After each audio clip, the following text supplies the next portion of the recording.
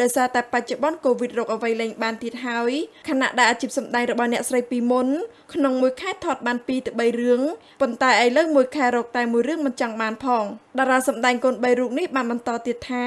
ដំបងឡើយអ្នកស្រីបានចាប់យកមុខរបរលក់គុយទាវតែមិនទទួលបានការជោគជ័យឡើយទើបអ្នកស្រីសម្រេចប្រើវិធីចុងក្រោយគឺលក់ប្រហុកផ្អកដែលជាជំនាញផ្ទាល់ខ្លួនរបស់អ្នកស្រីហើយក៏រៀងកាក់កបជាងមុខរបរចាស់រហូតមកដល់បច្ចុប្បន្នអ្នកស្រីនៅតែបន្តជាមួយនឹងរបរនេះនៅលើអនឡាញនិងបណ្ដាញសង្គមគួរជម្រាបថាគិតមកដល់ពេលនេះមានរយៈពេលជាង30ឆ្នាំហើយដែលតារាជើងចាស់អ្នកស្រីច័ន្ទដារាទីបានឈានជើងចូលប្រឡូកក្នុងវិស័យសិល្បៈពលគឺកំឡុងទសវត្សរ៍ឆ្នាំ80ហើយក៏បានបន្សល់ទុកស្នាដៃសម្ដែងជាច្រើនអ្នកស្រីច័ន្ទដារាទីទទួលបានប្រជាប្រិយភាពខ្លាំងក្នុងកំឡុងឆ្នាំ90ជាង គឺតាមរយៈខ្សែភាពយន្តល្បីៗមួយចំនួនដូចជា